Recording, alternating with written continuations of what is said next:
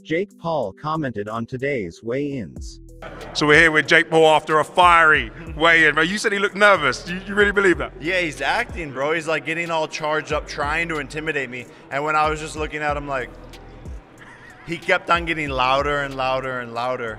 Um, and, and jittery on stage. You see his feet, his whole body language. I see him crumbling.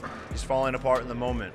Do you think that, that that aggression is an act and you're going to say, you said you're going to stop him inside four rounds. There's nothing about his physique, his body, his mentality that scares you even a little bit? Not in the slightest. I've been in there with real killers and he is not one, my friend. You said you shouted out Ohio. You said this is what we're from. We're real dogs. What does that mean? Bro, Ohio, where, where everything is earned, nothing is given.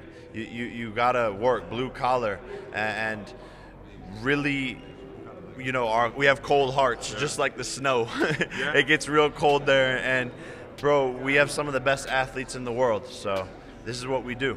You're gonna stop him inside four rounds. You say, what shot stops the fight? Ah, man, I, w- I want it to be a hook, but it's probably gonna be a right hand. yeah, the right hand has never failed you so far. Come on, brother. Pleasure. Right. Look forward to it. Nice one. Enjoy.